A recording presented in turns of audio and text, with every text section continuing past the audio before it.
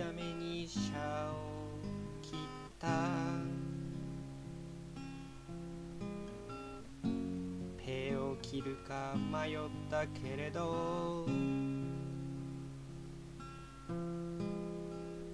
第一ダメにシャを切った。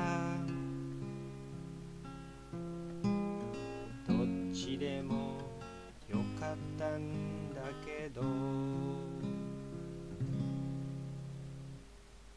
そしたら自巡車を積もってきた。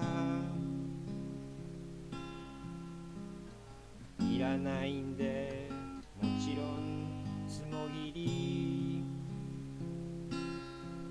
たったシャは4枚しかないはずなのによりによってなんで次のつもがシャなんだろう。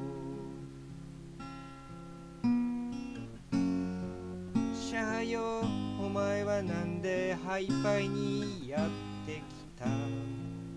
つもぎられると分かっていながら。